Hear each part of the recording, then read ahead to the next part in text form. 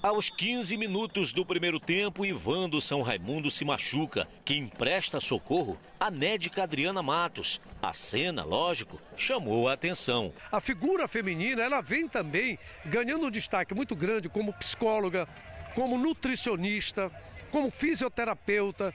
Né? Então, quer dizer, agora, como médica, dentro de campo, no jogo profissional assim, é a primeira vez que eu vejo. Situação inédita no futebol paraense. Uma médica trabalhando numa partida de futebol. Há oito anos na arbitragem, Delson Freitas da Silva, aspirante à FIFA, observou a disciplina dela. Só adentrava o campo de jogo, entendeu? Quando o árbitro autorizava, né?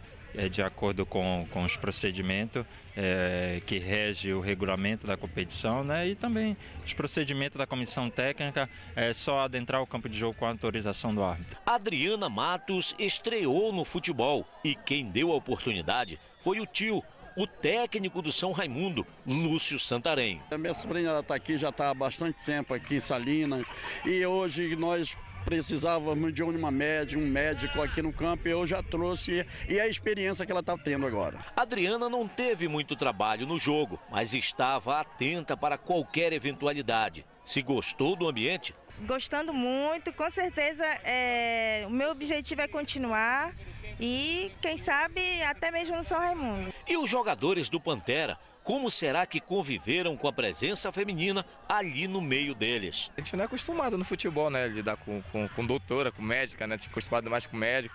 Ainda mais ali onde você fica no vestiário trocando de roupa, né? Todos os jogadores ficam ali à vontade, né? Não posso falar outra coisa, mas ficamos à vontade. Mas sim, acho que é a área dela, se ela gosta de trabalhar, não tem problema nenhum, a gente procura respeitar a profissional.